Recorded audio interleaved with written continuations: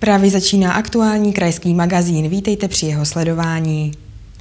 Zlínský kraj v tomto týdnu navštívila delegace z daleké Číny. Předmětem návštěvy byla především problematika životního prostředí. Čínská delegace z města Shenyang přijela do Zlínského kraje, aby načerpala inspiraci především na poli vodního a odpadového hospodářství. Mezi členy delegace byli především úředníci tamnějšího úřadu pro ochranu životního prostředí. Zahraniční návštěva přitom navazuje na nedávnou obchodní misi, kterou v Číně podnikli zástupci našeho regionu. To pole spolupráce je skutečně v řešení odpadu, v řešení čištění odpadních vod a tak dál, protože eh, ty nároky prostě i u nich na ochranu životního prostředí se zvyšují a Oni samozřejmě hledají zkušenosti a je vidět, že si to uvědomují, že to je prostě věc, která je eh, nezbytně nutně tam řešit.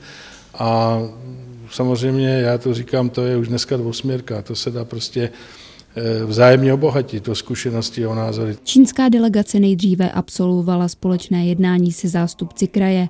Posléze se návštěvníkům dostalo prohlídky krajského sídla, a to včetně pověstné pracovny Tomáše Bati. Ta samozřejmě upoutala nejvíce. Nechyběl ani zápis do pamětní knihy, který si ale vzhledem k písmu hned tak někdo asi nepřečte. Poté už následoval program, za jehož účelem čínští zástupci vlastně přijeli, tedy prohlídka moderní čističky odpadních vod i logistického centra odpadů ve Vsetíně.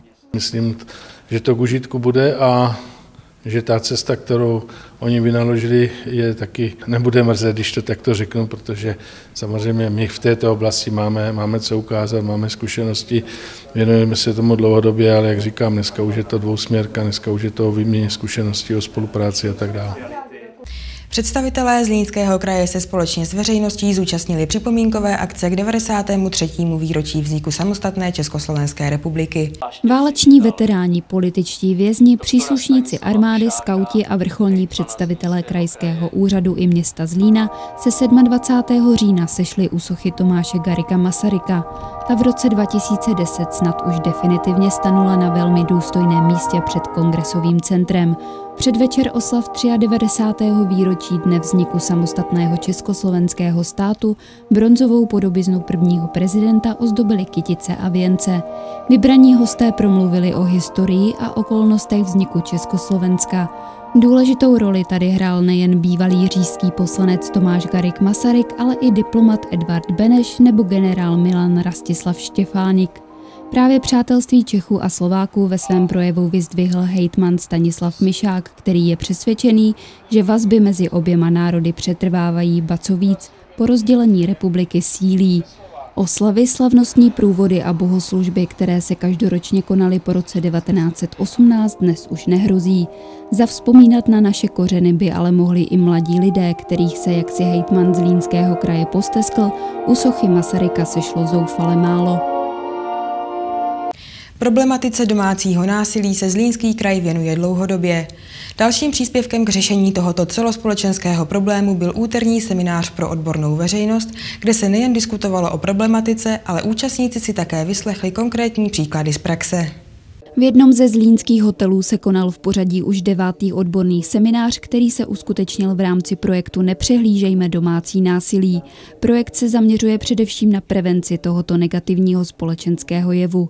Podle odborníků nebývá v tomto případě problémem nedostatek kontaktních míst, ale především velký stud obětí, které nechtějí jít se svým soukromým problémem na světlo. Opravdu se to týká jak teda žen, tak i mužů, seniorů, dětí. Ehm, máme i prostě domácí násilí v rámci cizinců, takže opravdu to není o tom, že by bylo 10% mužů a 90% žen. Ta, eh, ta hranice, jak se vykládá, opravdu je 50-40. Ehm, není to, není to tak diametrálně rozlišné, ale je pravdou, že muži opravdu s tím na venek nepůjdou. Projekt zaměřený na problematiku domácího násilí funguje pod patronátem Krajského úřadu od května letošního roku. Jeho cílem je především navýšit povědomí veřejnosti o dané problematice, a to nejen prostřednictvím vzdělávacích akcí, ale také pomocí mediální i letákové kampaně.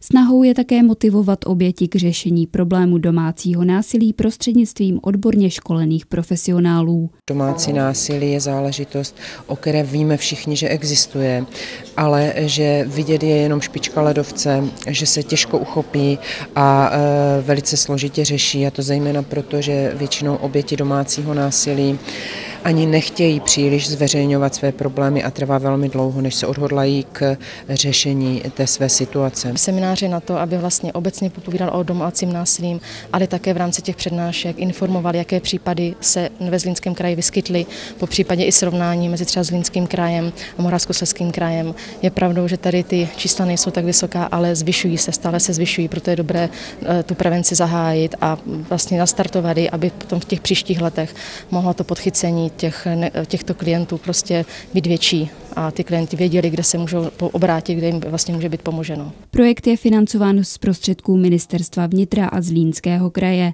Mezi partnery se řadí především Zlínské intervenční centrum, Policie České republiky a probační a mediační služba.